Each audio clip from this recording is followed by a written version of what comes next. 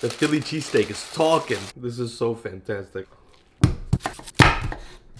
I'm not crying, you are. We need to make this right. Wee! Onion, salt, pepper. The ribeye is thin and helpless like you. Lay it flat and let it get crusty. Season thoroughly and generously.